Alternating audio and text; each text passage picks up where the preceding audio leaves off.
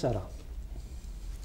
Emisiunea înapoi la argument din această seară, ca de obicei, găzduiți în ambianța fastoasă a Muzeului de Artă Veche, de Artă Apuseană Veche, inginer Dumitru Minovici, uh, îi are ca invitați pe doamna Smaranda Lalescu, care este nepoata lui Traian Lalescu, matematicianul și persoana despre care o să vorbim astăzi, personalitatea extraordinară și academicianul, profesorul Solomon Marcus, pe care l-am mai avut în emisiunea mea invitat.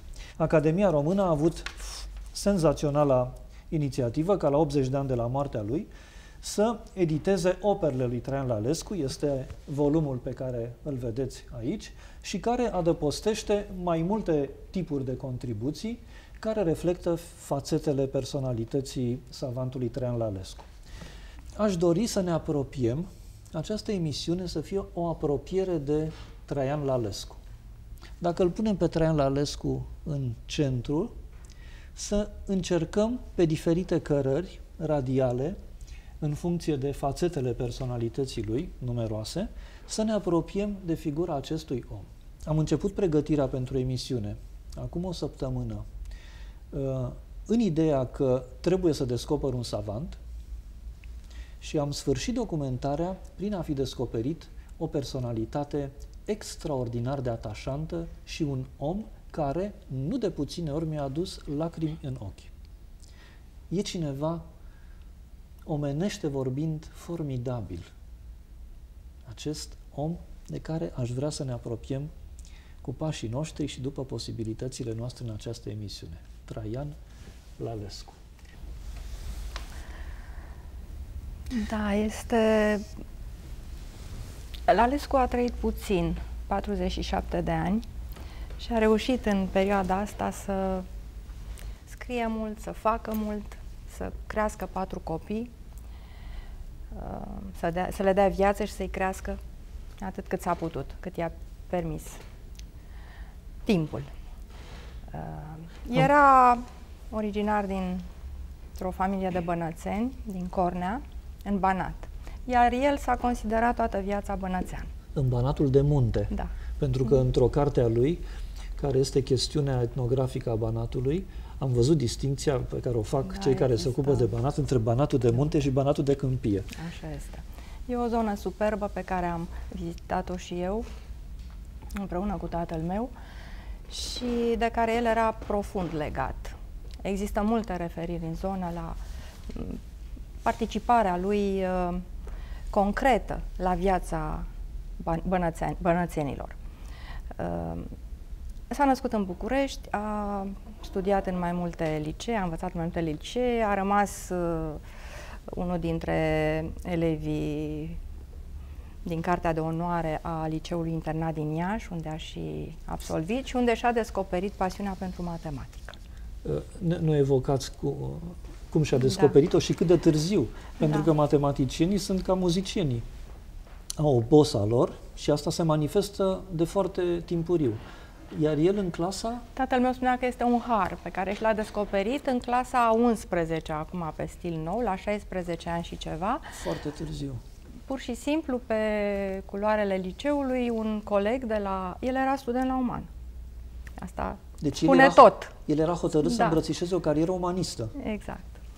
Și văzându-l pe acel coleg de la Real care rezolva probleme din Gazeta Matematică, a fost curios să știe pentru ce asemenea interes.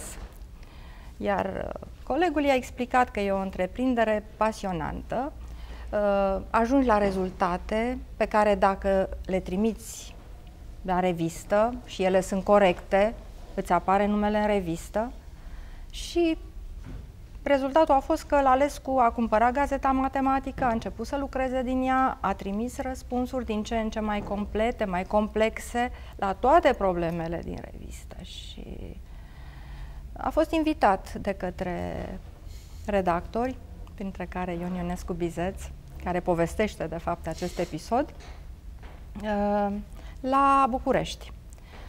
Ei nu se așteptau să vadă un elev. Credeau că este vorba de un profesor de la liceu deosebit de înzestrat. Și când a apărut uh, bunicul, vă închipuiți, bunicul, în postura unui elev de liceu, cu, în uniformă, timid la ușă, sunt la cu Traian, am venit la dumneavoastră pentru că m-ați chemat. De aici încolo drumul lui a fost uh, trasat, uh, cei de acolo l-au adoptat, l-au preluat, l-au ajutat să câștige chiar și o bursă la un moment dat. În sfârșit, deci uh, drumul lui ca matematician era, era brăzdat, ca să spun așa. După care se cunoaște evoluția lui excepțională și povesteam despre copiii pe care i-a crescut, care le-a dat viață. Uh, bunica, soția lui, i-a fost elevă pentru că în prima parte a uh, carierei lui uh, de profesor a fost profesor suplinitor la Școala Centrală de Fete unde ea era elevă. Și... La școala centrală a predat la Lescu? O da, vreme? da, da. Acolo am făcut atât, eu liceu. Atât, da. Hmm. Atât cât să o cunoască pe Caterina Procopescu, bunica, pe care s-a îndrăgostit. Da, Aveți poza aceea cu, cu copilul în brațe? Da, da, este aici. Era o copilă la rândul ei. Aici și... este soția da. lui Traian Lalescu, cu un an înainte să moară nu? Da, este cu tata. Și tatăl meu și bunicul s-au numit tot Traian Lalescu. Și Ecaterina Lalescu a murit la 28 de ani? Da. Lăsându-l cu patru copii? Dintre care cel mai mic tata avea un an. Un an. Au avut o viață, am putea spune tristă pentru că erau lipsiți de mamă, dar tatăl lor s-a ocupat atât de mult de ei și uh, a știut să-i crească cu atâta pasiune. Da? Iar aici este Traian Lalescu, tatăl, cu Traian Lalescu, fiul, matematicianul, poetul, și tatăl Smarandei Lalescu, care vă vorbește în momentul de față. Oricine ar fi putut să învețe din uh, metodele educative ale bunicului meu. A știut să facă cu ei o groază de lucruri. Tatăl meu povestește aceste Traian, Traian Lalescu, da? Într-o carte mă gândesc la tata, apărută la editura Ion Creangă în anul 1978, uh, îl evocă pe Traian Lalescu, matematicianul, cum i-a crescut pe ei, pe copii. Și există, uh, există aici o, uh, cred că sunt ultimele cuvinte, da, ale acestei evocări, mă gândesc la tata, Traian Lalescu, poetul, spune, uh, povestește o întâmplare în care se întâlnește cu, cu Laurențiu Fulga, care l-a felicitat. Pentru ce mă felicitați? Păi n-ai o fată Smaranda? Da, e Caterina Smaranda. Exact, e Caterina Smaranda. Am fost zile trecute la Caragele să o înscriu pe fata mea la examenul de intrare, în, la, de intrare în liceu. În curte erau afișate pe un geam listele premianților. Mi-am aruncat și eu o privire și numai ce văd. Clasa 11 E, Lalescu Ecaterina Smaranda, media 9,92. Încă o dată te felicit. Și Traian Lalescu, poetul, fiul matematicianului, conchide, am zâmbit din nou. Până acum primeam felicitări că sunt fiul tatălui meu. Acum sunt tatăl fiicei mele. Da, tata știa să fie ironic într-un mod foarte fin și era o autoironie blândă, dacă vreți, pentru că Toată viața lumea îl privea ca pe fiul, uh, fiul marelui matematician. Deși el a fost un poet de o mare sensibilitate. Avem aici un volum de poezii, Traian Lalescu, apărut la editura Corint, la București, în 1999, ediție îngrijită de Traian Fințescu. Vărul meu. Este, vărul meu vărul este... dumneavoastră primar fiul Floricăi. Cu o prezentare intitulată Sinceritate, Inteligență și Tandrețe, semnată de Alexandru Paleologu, care a fost coleg de clasă la liceul Spiru Haret, cu Traian Lalescu, poetul, fiul matematicianului, căruia toți îi spuneau Sandy. Așa. Uh, coleg și cu Ștefan Baciu, uh, Poetul din Honolulu. Poetul refugiat în Honolulu, care, la moartea lui Traian Lalescu, lui Sandy Traian Lalescu, poetul, a publicat o revistă mele pe care aici o am în Xerox, nu vă arăt pentru că este o reproducere aproximativă. Uh, vreau doar să, să vă citesc uh, dintr-o scrisoare pe care Alexandru Paleologu i-a trimis-o lui Ștefan Baciu, Bătrâne Ștefan, am simțit violent nevoia să scriu rândurile astea încă din clipa când, acum mai mult de o lună, într-o dimineață, răsfoind o revistă literară, mi-au căzut ochii la pagina unde se publică de obicei necrologele pe un titlu care m-a înghețat, Traian Lalescu. De desubt, fotografia, destul de recentă, cred, a lui uh, Sandy. Nu-l mai văzusem de vreun an pe bunul și vechiul nostru Sandy. Niciodată n-am reușit să știu de ce îi ziceam așa. Era ca și neschimbat aproape idoma cu cel pe care îl știi tu. Obrazul doar era nițeluș ca îmboțit, părul tot atât de bogat și castaniu, afară doar de câțiva ghiocei și așa mai departe. Este o evocare a celui care a murit la 56 de ani. 56 de ani, răpus de o explozie a inimii, un, un infarct devastator. Tatăl mor la 47, el mort la 56, îngrozitor. Și uh, evocarea pe care o face Alexandru Paleologu, asupra căreia insist, pentru că Traian Lalescu, uh, tatăl dumneavoastră și fiul matematicianului, a fost o persoană extraordinară, extraordinar de atașantă, de care m-am atașat citindu-i versurile și citindu-i evocarea. Uh, uh, spune cu hazul nebun Alecu Paleologu, sunt sigur că se amintește, scrie lui Ștefan Baciu, de următoarele versuri compuse împreună de noi trei, de Ștefan Baciu, de Traian Lalescu, Sandy și de Alecu Paleologu, pe o carte poștală la Dragomir, la local, unde Sandy, având bani, ne tratase cu un suculent aperitiv. Trei caractere integre beau, mănâncă icre negre. Și comentează Alexandru Paleologu, versurile astea le găsesc și acum, după 38 de ani, geniale. uh, Acum, aș vrea să, să mai facem un pas spre Traian Lalescu. Uh, de data asta nu dinspre familia lui, o să mai revenim la familia lui, pentru că nu vreau să-l las pe poet fără să citesc o poezie de-a lui, un sonet. Uh, spre Traian Lalescu, savantul. Și vreau să vă întreb, domnule profesor, uh, cum a ajuns să fie cunoscut, nu la noi în țară, ci în străinătățuri, Traian Lalescu.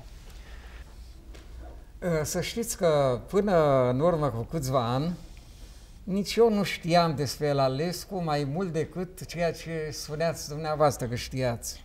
El murind în 1929, n-a mai apucat să fie profesor după al doilea război mondial. În felul acesta, noi care am devenit studenți în matematică după al doilea război mondial, nu l-am avut profesor și abia când s-a a fost uh, o dată aniversară prin anii 80 am început să aflu mai mult, dar nici atunci prea mult.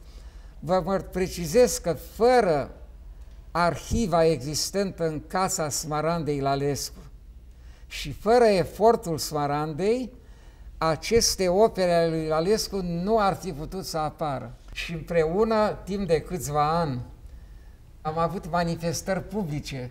Am vorbit despre Traian Lalescu la Teatrul Național, imaginați-vă, la Teatrul Național despre un matematician. În conferințele organizate? Da, da, da. A fost o conferință Traian Lalescu.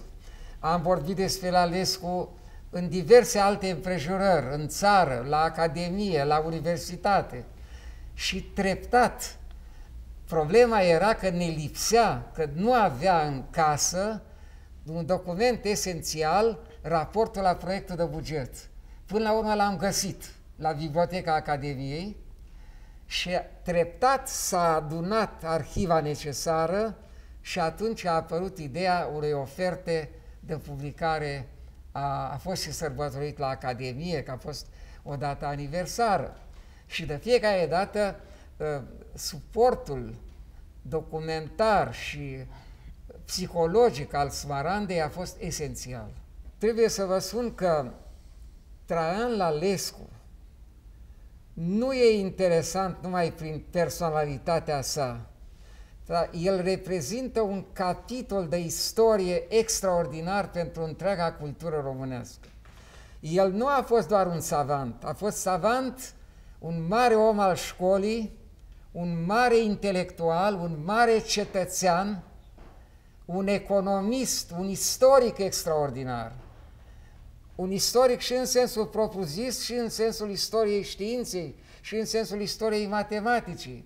Modul în care el a cultivat memoria profesorilor săi și profesorilor profesorilor săi este exemplar, este o bijuterie de spiritualitate, de cultură despre care vreau să vă vorbesc și am să vă spun că uh, el a avut trei mentori în, ordine, în ordinea lor cronologică.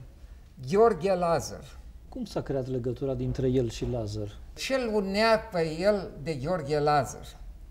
Și ce-l unea de al doilea mentor, Spiru Haret? Îl unea faptul următor. Ei erau toți oameni care au realizat, de îndată ce au devenit conștienți, că trăiesc o perioadă istorică în care totul trebuie început. Trăiesc un moment al începuturilor. Uh, am să folosesc o sintagmă pe care a, am, a folosit-o Mihai Zamfir pentru Gheorghe Asachi, scriitorul, personalități aurorale, personalități care inaugurează, din toate punctele de vedere, inaugurează. Și ce era Gheorghe Lazar altceva decât acest lucru? Ce a putut să facă el pentru școala românească este absolut uluitor. Trebuie a, spus că... A fost avars cu o incandescență.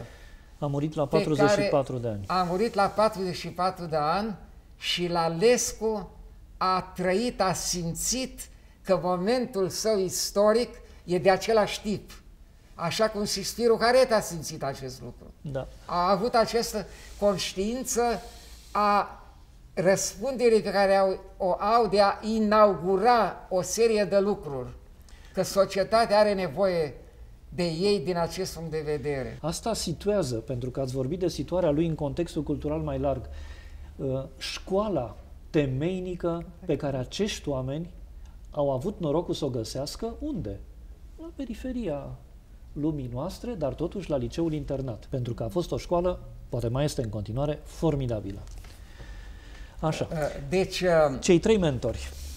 Al doilea mentor, Sfiru Haret, a fost prima generație de matematicieni creator la noi, generația întemeietorilor. El și David Emanuel în special. Sfiru Caret s-a dedicat școlii, David Emanuel universității. Dar ă, pe urmă a venit a doua generație de matematicieni. Primii matematicieni români care au, ă, au făcut cercetarea matematică de cursă lungă. Gheorghe Țițeica, Dimitrie Pompei. Și observați un lucru.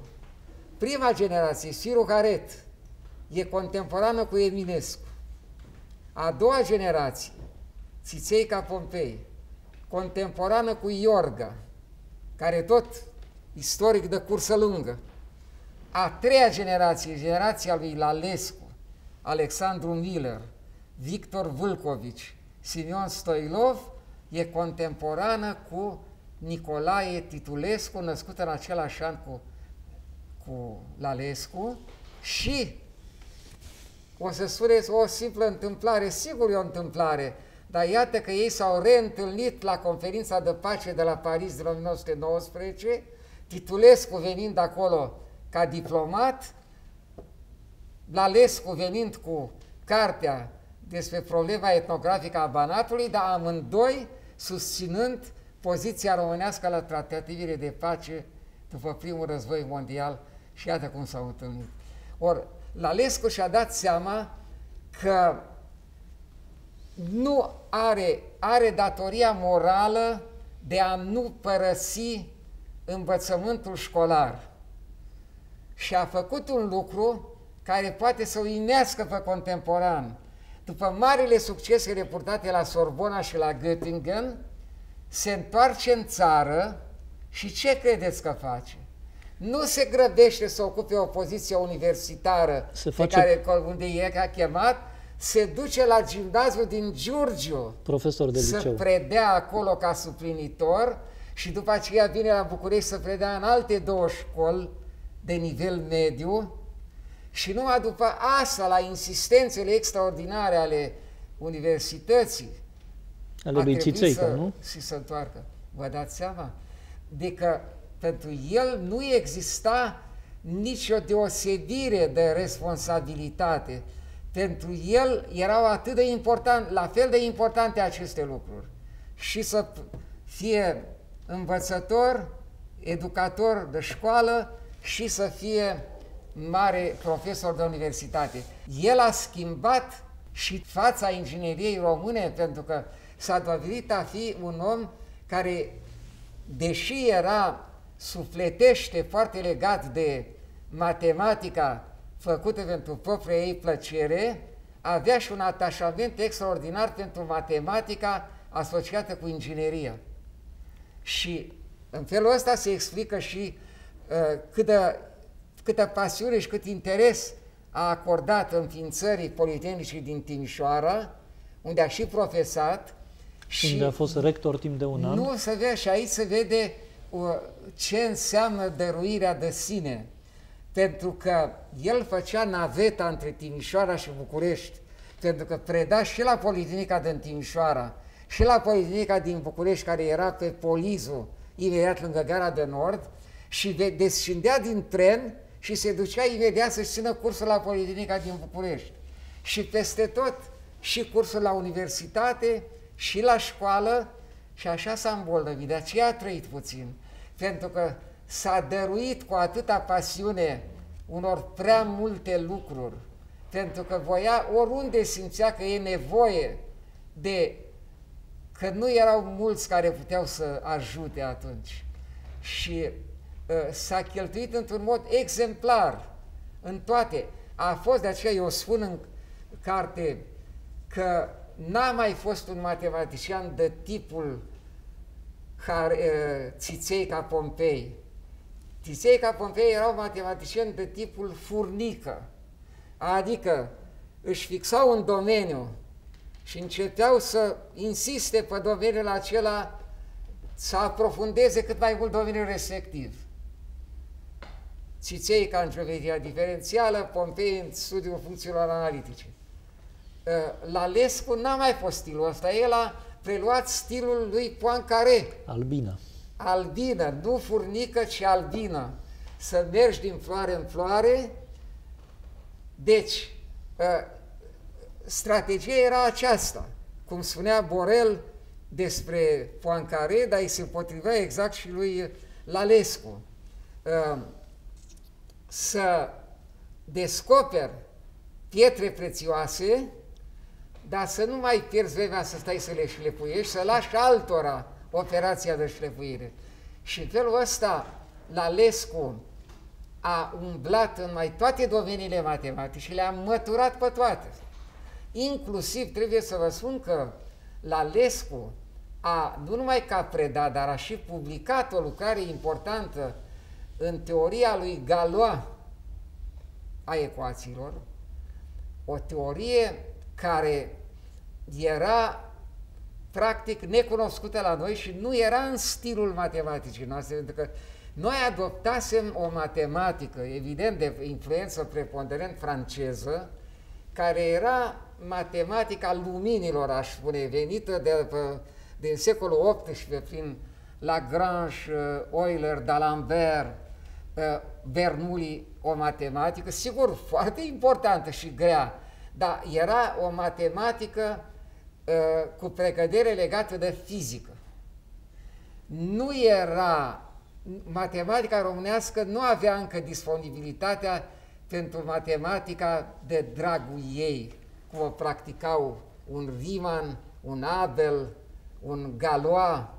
Uh, ei bine, Lalescu a știut să meargă și împotriva curentului care e dominant de atunci și a pătruns și în aceste domenii de matematica pur de dragul artei, cum s-ar spune. Da. Uh, și uh, deci, al mentor, mentoratului Haret, vedeți? Pe urmă, observați ce a scris... Pe al treilea mentor nu mi l-ați dat. Da, da, nu, încă o completare la Haret. Trebuie să urmăriți ce a scris Lalescu despre mecanica socială. mecanica socială a lui Haret. Este un studiu impecabil. Nimeni n-a scris atât de profund despre această lucrare și el a sezizat un lucru extraordinar. A sezizat că, pentru că trebuie să vă spun un lucru, multă lume credea că Haret a fost primul care a legat sociologia de mecanică. Nu! Legătura asta se făcuse deja cu 100 de ani mai dinainte, de mult. Dar ce a făcut el primul a mers atât de profund în această analogie încât a sezizat că ideea principală în valorificarea mecanicii în sociologie este valorificarea ideii de echilibru din mecanica analitică a lui Lagrange. Ei bine, atunci era un lucru extraordinar, acum să știți, toată lumea știe că ideea de echilibru a călătorit în toate domeniile, echilibru termodinamic, a ajuns în, în teoria jocurilor de strategie, echilibrului Nash, dar în economie. Lalescu a avut această intuiție că accentul trebuie pus pe ideea de echilibru, care acum este o, o paradigmă universală. Și acum să ajungem la al treilea mentor, la Poincaré. Vedeți, uh, e semnificativ și titlul textului lui. Uh, trebuie citit uh, Personalitatea artistică, artistică a lui Henri Poincaré. Și modul în care, trebuie să vă spun că Poincaré reprezintă în istoria matematicii exemplul prin excelență a matematicii ca exercițiu spiritual. Deci, când spui Poincaré, imediat spui să faci matematică pentru onoarea spiritului uman. Și există chiar o carte a lui Jean Dieudonné pour l'honneur de l'esprit da. humain. Și uh, ce l-a fermecat pe la Lescu a fost uh, această dăruire a lui Poincaré pentru lucrurile gratuite, pentru gratuitatea frumuseții matematice. Nu urmărea. Uh, trebuie să vă spun că uh, cu Poincaré s-a întâmplat, el, el a fost și, evident, și mentorul lui Sfiru Haret, pentru că pentru Haret a fost un succes extraordinar faptul de a fi fost citat de Poincaré, dar... Uh, pentru teza lui de doctorat. Pentru teza lui de doctorat, ca, da. Care demonstra o apariție unor termeni seculari. da, uh, punea sub semnul întrebării stabilitatea uh, sistemului solar. Stabilitatea sistemului solar. Acum, vedeți, oamenii atunci nu-și dădeau seama, dar acum noi știm că problema celor trei corpuri, care nu e încă rezolvată, s-ar putea să nu fie rezolvată. Și că să rămână un semn de întrebare, dar uh, la Lescu nu, uh, nu la, uh, pe la Lescu l-a fermecat nu această linie de gândire de la Poincaré, ci linia de gândire care, dacă vreți, vine din modul în care Poincaré a legat analiza, teoria al funcțiilor funcțiene de geometriile neoclidiene. Deci, Lalescu era, în ultimă instanță, un estet. El, pentru el conta, în primul rând, această disponibilitate totală a lui Poincaré pentru frumusețe, pentru... Este chiar sensul studiului pe care îl dedică, da. în care constată în mod uh, surprinzător următorul lucru. Considerat, deci, în chiar producția sa științifică, Poincare nu are meticulozitatea profesionistului științific da. și apropie demersul lui de demersul propriu-zis al artistului și trage concluzii care uh, au valabilitate dincolo de cazul Poincare, aceea că în geneza lor profundă, actul științific și actul uh, uh, uh artistic mobilizează aceleași facultăți Dar lucrurile intelectuale. au fost confirmate ulterior, este cartea celebră a lui Jacques Adamar, uh, despre psihologia invenției matematice, care susține aceeași idee, însă, uh, vedeți, uh, Lalescu se afla în această cumpănă, între, între această dilemă. Avea o disponibilitate pentru matematica artă și îl îndrăgea pe Poincaré din acest motiv, dar în același timp avea acest simț al răspunderii pentru locul căruia el îi aparținea și pentru oamenii din jurul său. Uh, trebuie să vă spun următorul lucru.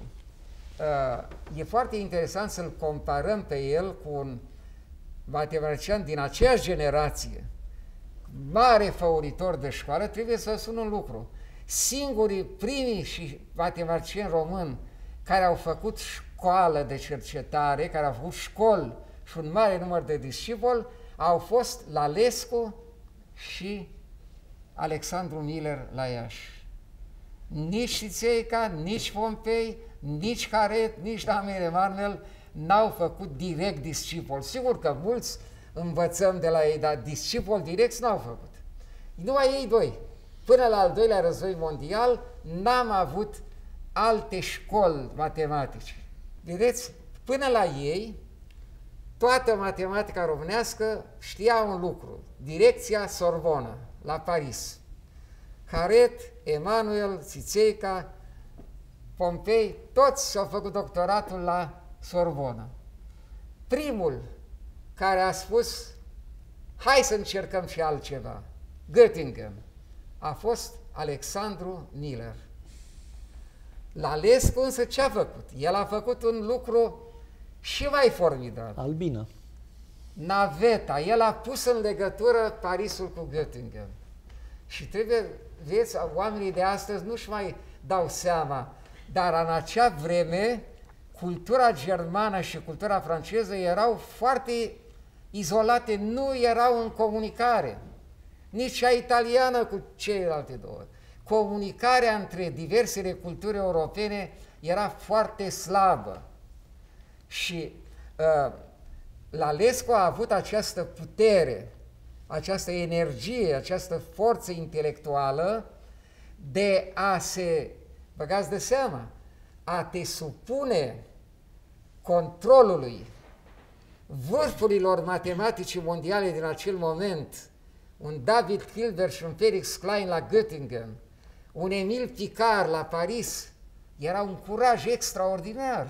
Lalescu a pus în comunicare Italia, Franța, Germania, pentru că teoria ecuațiilor integrale era cultivată și de Volterra și în Germania și pentru că analiza funcțională, vedeți, spuneam că era o personalitate aurorală, pentru că el a avut această plăcere și acest curaj de a se plasa în domeniile care se nășteau sub ochii lui. Aceste domenii în care el lucra, analiza funcțională și teoria ecuațiilor integrale, chiar atunci se nășteau. Și e prezentau, dacă vreți, un risc extraordinar. Și iată ca să, să vii cu acest pariu și să-l câștigi, să obții ca imediat Emil Picard să te citeze în tratatul lui și, și Volterra, Volterra să-l citeze iar în monografia sa și Felix Klein să-i spună bravo și să era... Cu Felix Klein este anecdota aceea cu germana? Sau nu, cu, cu Hilbert? Hilbert. Da, Hilbert. Când s-a dus la Göttingen, uh, el, uh, Hilbert, uh, uh, prezida da. seminarul la care a fost invitat să vorbească la Lescu. Și la Lescu a început să vorbească în franceză și după câteva da. fraze, Hilbert i-a spus, uh, uh, dar domnule Lalescu, dumneavoastră vorbiți și germană. nu? Așa da, a fost? Da, da. Știți ce se întâmplă? Aici e o Și el a continuat în nemțește. Pentru că până atunci, la noi, puținele lucruri culturale care ne veneau din Germania veneau tot pe filieră franceză. Și cam asta era situația. Dar aici apare... Vreau, vreau să lămurim un, un lucru, că ține de personalitatea lui. Uh, câte limbi știa? Deci vorbea franceza, practica română, dar el a putut să treacă direct pe germană fără fără Cunoștea și limba germană, chiar, chiar de acasă. Însă franceza a învățat-o la liceu. M-a, m-a impresionat Ca să prezinți o comunicare de matematică, nu e nevoie să știi chiar atât de multă germană cât e folosită într-un roman sau într-un... Deci, dar nu cred că e un lucru prea important. Nu, acest. este un lucru foarte important, pentru că ați spus, l-ați descris epistemologic ca pe o albină. Ori face parte din caracterul lui de albină faptul că putea mobiliza uh, cunoștințele din mai multe culturi printr-o cunoaștere profundă a acestor limbi. Franceza o avea, germana, dar am citit în evocarea tatălui, pe care tatăl dumneavoastră a făcut-o tatălui lui, că copiilor le-a tradus din italiană în Pinocchio. Colodii, da. Da, da. Deci asta ca o de... Deci știa foarte bine și italienește. Și traducea și teoria lui Maxwell din engleză. La deci un moment traducea dat, din engleză. Am văzut cu... în lucrarea lui de doctorat cum astăzi nu se mai vede, pentru că totul este în limba engleză, el folosește bibliografie franceză, italiană, uh, germană și engleză. Dar totul. observați în scrierile sale despre mari matematicieni, câte referințe literare și filozofice face. A, ajung la limba latină, unde el dădea citate, care nu sunt uzuale, nu sunt da. citatele de Florilegiu, din latinește da. și le lăsa latinește. Dar acum o să vă spun o, o problemă interesantă. Vedeți, uh, Alexandru Miller, care a fondat școala matematică ieșeană, el, de fapt, s-a încadrat perfect în tradițiile societății junive. Eu vă mărturisesc că am realizat acest lucru după ce am citit un articol, o prezentare a societății junive făcută de Nemoianu, în care el rezumă doctrina Junimii la trei lucruri. Tradiție, inovație, libertate, ordine, local, universal. Nu intru în detalii, dar se poate vedea că întreaga uh, strategie pe care a adoptat-o Alexandru Miller, care era german, când a venit la Iași, el a venit la Iași în 1910.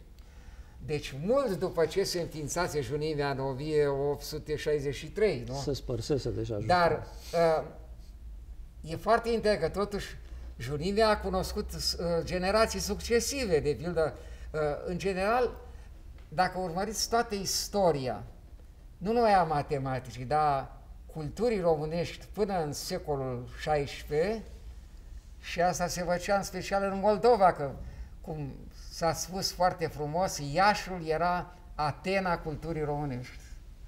Ei bine, toate, școala latină uh, de la Cotnar, Academiile Domnești, uh, Academia Mihailiană, uh, pe urmă,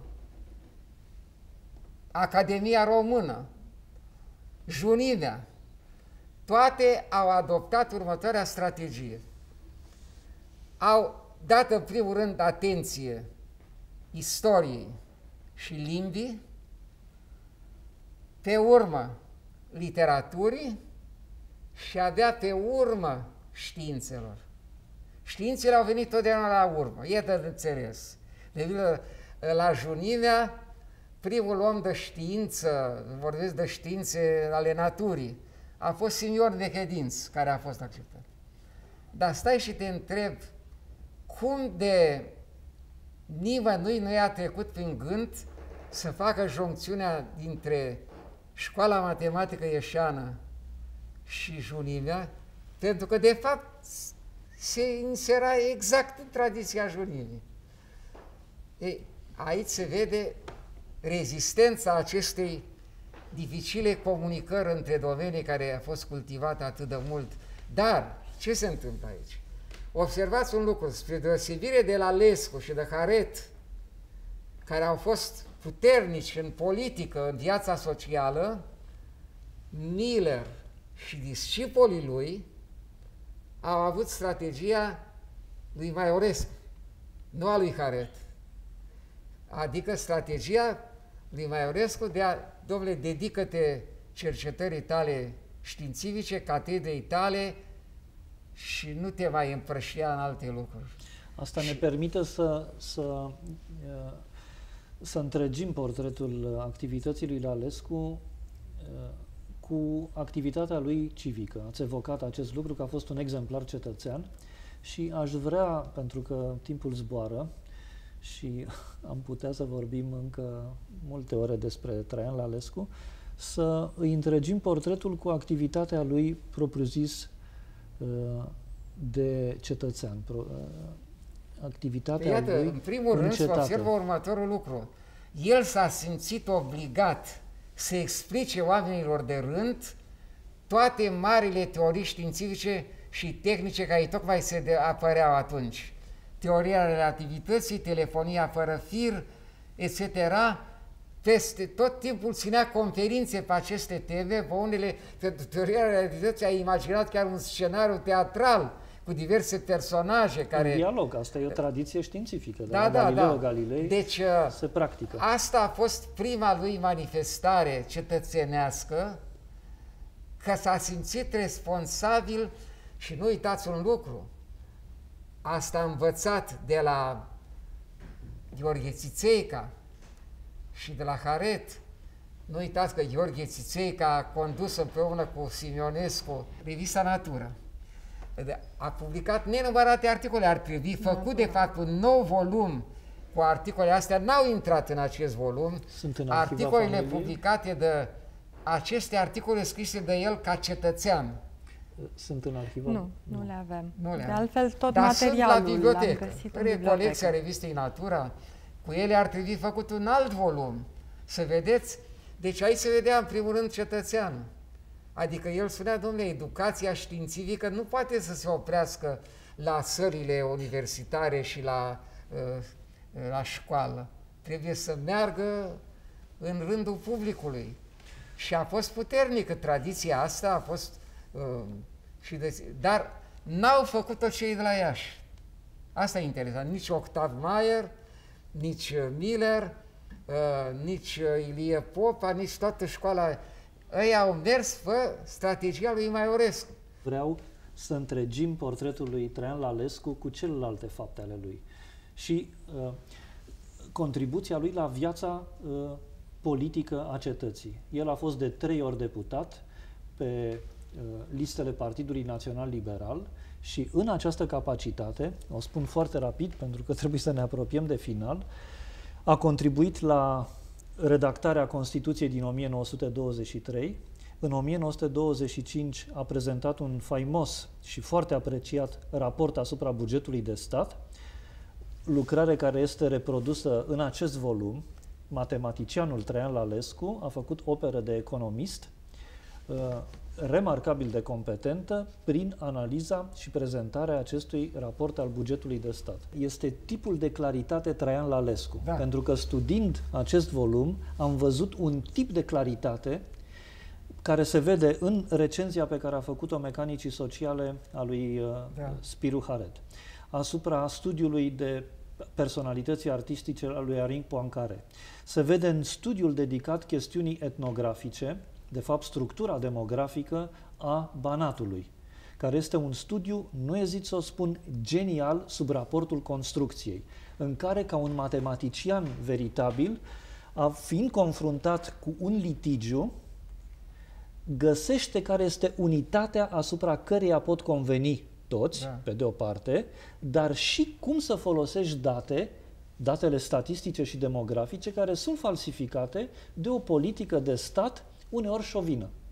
Cum poți să faci acest lucru? Și cu claritatea lui extraordinară găsește soluția. Iar această broșură, publicată în 1919 la Paris, în efortul multor savanți români de a sprijini efortul de după război al României, de a demonstra drepturile ei istorice și naționale asupra teritoriilor care aveau să intre în România Mare, aportul lui a fost important și marca lui de savant se vede. Da. Și aș mai adăuga ceva, a avut un rol decisiv alături de alt matematician de Coculescu, în 1925, cred, pentru trecerea la noul calendar. Și la înființarea Patriarhiei. Este unul dintre cei care în Parlament a da. sprijinit da. ridicarea de rang de la mitropolie la Patriarhia Bisericii Ortodoxe uh, Române. Să-i dăm ultimul cuvânt doamnei Lalescu să ne evoce, eu nu găsesc unde este întâmplarea aceea formidabilă cu știe cineva? A, da. Ah, da. Da, aici este. Spuneți-ne, e o întâmplare extraordinară da. cu care, care merită evocată în încheierea emisiunii. Da, la o întrebare lansată în Franța, pe internet, în 1999, știe cineva ceva despre Traian Lalescu, care a scris Geometria triunghiului? Cel mai amănunțit și elogios răspuns a sosit din Montevideo, Uruguay, din partea profesorului de matematică Julio González Cabion. Uh, m-a impresionat acest lucru, l-am aflat uh, la Timișoara de la profesorul uh, Doru Stoinescu și m-a, m-a mobilizat, m-a îndemnat, m-a făcut să încerc să întreprind ceva în memoria bunicului. Așa a luat naștere această carte, astfel l-am cunoscut pe domnul academician Solomon Marcus și mai departe au avut loc toate acele evenimente pe care dânsul le-a pomenit, inclusiv un uh, superb film uh, regizat de Sabina Pop despre Traian Lalescu, un film foarte viu, foarte alert, în care nicio clipă nu te plictisești sau nu simți că ar fi vorba de un personaj uitat în istorie îl aduce în prezent prin oamenii care vorbesc despre el și vorbesc cu pasiune. Dar și nu sunt numai matematicieni. Ce puțin au trăit toți. Lalescu, 47 de ani, Lazar, 44 de ani, mă rog, Haret, 61 de ani, dar n-a apucat, niciunul n-a apucat bătrânețea. Dar cu cât folos uh, au trăit? Uh, Poancare nici 60 de ani n-a apucat, a trăit vreo 56 59. de ani. 59. Uh, au fost toți personalități tragice față de um, cât de mult au putut să dea Poancare, are o operă extraordinară pentru câți ani a trăit. Aș vrea să mai adaug, ca să omagiem pe cei care s-au ocupat de Traian Lalescu, pe profesorul Vasile Petrica, care în 2010 la Reșița a publicat la editura Eftimie Murgu o monografie uh, dintr-o perspectivă particulară Traian Lalescu ca bănățean, ca savant, personalitate și patriot bănățean. Savantul Traian Lalescu și cultura Banatului. Este o carte emoționantă din care uh, trăsăturile foarte umane ale acestui mare savant ies, sunt bine puse în lumină. Și aș vrea să încheiem emisiunea cu acest volum pe care doamna Lalescu ni l-a adus. Este Mineiul lunei lui iunie din 1910, care a fost dăruit de Traian Lalescu și aici se vede semnătura lui. Sfintei Biserici din Ieșalnița, dar de la deputatul Traian Lalescu. Și aici apare 1925, data la care a făcut acest uh, dar. Este o carte salvată de preoții localității în momentul în care localitatea, uh, satul a fost uh, inundat. Uh, în vremea construirii barajului, ei au ascuns cărțile bisericești și le-au transferat în mica bisericuță din noul sat care a fost creat și pe care au avut bunătatea, dărnicia să mi-o ofere și a ajuns la dumneavoastră după ce bunicul o dăruise. După 100 de ani. După 100 de ani. Uh, sentimentul meu este și mă simt vinovat față de profesorul Marcus. Uh, n-am putut să... Emisiunea nu cuprinde cât am fi putut vorbi despre personalitatea extraordinară a lui Traian Lalescu. Vă mulțumesc foarte mult și sper ca cei care s-au uitat la noi să-și fi făcut o cât de mică idee și despre cât de important a fost Traian Lalescu în cultura noastră, dar și ce personalitate atașantă a fost acest om formidabil. Vă mulțumesc foarte mult! Mulțumesc.